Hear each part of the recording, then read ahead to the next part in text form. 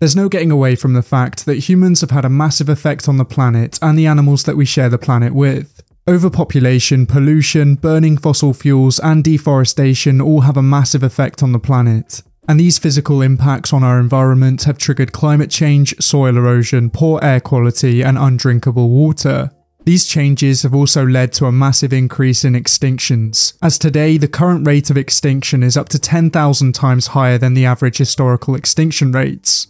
This is why it's so important that we try and protect and restore the world's wildest areas, and some of the best ways to do this is through conservation and ecological restoration.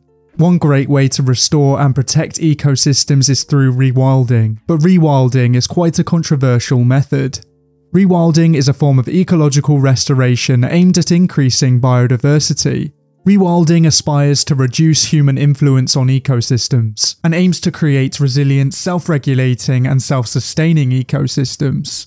There are many different types of rewilding, with one of them being passive rewilding, this form of rewilding aims to restore natural ecosystem processes, and one of the ways to do this is by limiting or eliminating direct human management of the landscape. Passive rewilding may not seem like a very effective method at first, but there is one place that's proven how effective it can be. Chernobyl is famous for its nuclear disaster, but strangely this disaster helped its native wildlife to thrive. Because so many people evacuated the area, nature soon took over, and many species are returning to the area after decades of absence. Przewalski's horses can now be found in Chernobyl, along with larger predators such as lynx and wolves.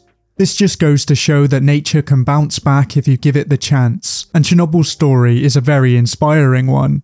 Passive rewilding is definitely the least controversial form of rewilding, simply because humans play no part in the process. Some argue that this is the most ethical way to do rewilding, as nature is left to heal itself and humans aren't playing God.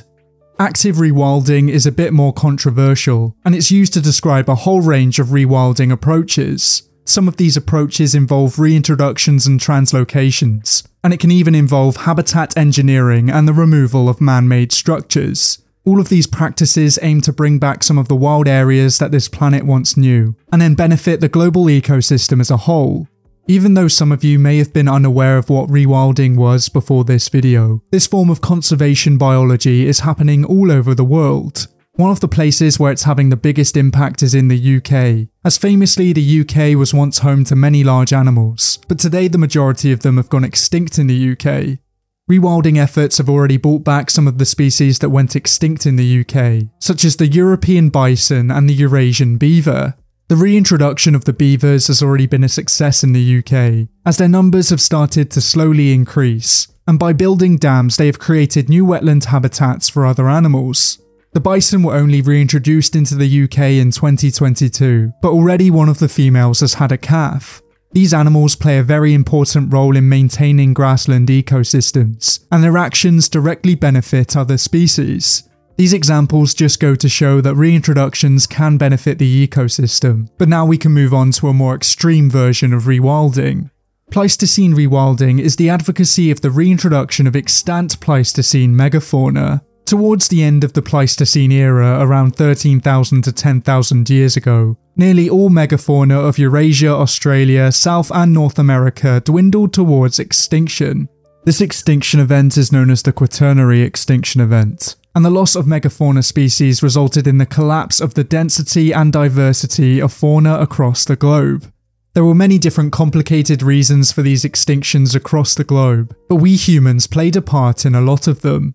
The overhunting of megafauna species pushed them to the brink of extinction, and this led to many of the world's ecosystems suffering. Pleistocene rewilding involves reintroducing species into ecosystems where they once thrived, but of course some of the Pleistocene animals are no longer with us. Many of the Pleistocene animals are extinct and they're gone for good, although there are some very interesting de-extinction projects. As many of the Pleistocene animals went extinct relatively recently, we do still have quite a lot of their DNA. Most de-extinction programs aim to recreate a proxy of an extinct animal, but so far none of these de-extinction projects have been successful.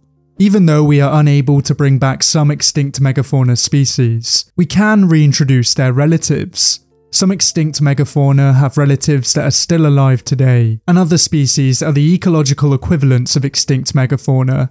Introducing these animals into an ecosystem can benefit other species, and it can also help to tackle climate change. One biome that's almost completely disappeared from this planet is known as the Mammoth Steppe, and the Mammoth Steppe was once Earth's most extensive biome. Introducing large grazing animals could help restore the Mammoth Steppe ecosystem, and in doing so slow the melting of the Arctic permafrost. Permafrost is soil or underwater sediment which continuously remains below 0 degrees Celsius. When permafrost melts, it releases carbon dioxide and methane into the atmosphere, and these greenhouse gases contribute to climate change. This is why it's so important to try and restore these ecosystems, but there are also some very valid criticisms of Pleistocene rewilding. Some argue that the reintroduction of certain species would harm the native species that have taken over new ecosystems, and some argue that it's unrealistic to assume that communities today are functionally similar to their state 10,000 years ago, there are very strong arguments both for and against Pleistocene rewilding, but really it's still in its infant stages. One nature reserve where Pleistocene rewilding has been put into effect is Pleistocene Park. This 160 square kilometre nature reserve is home to many large animals, and some of these large animals are native and some of them have been introduced. Here you can find European and American bison, and even horses, yaks, and camels. This park is an attempt to recreate the historic steppe grassland ecosystems, and this project is currently being led by two Russian scientists, Sergei Zimov and Nikita Zimov. The aim of the project is to research the climatic effects of the expected changes in the ecosystem, and to see if the introduction of megafauna can help curb climate change.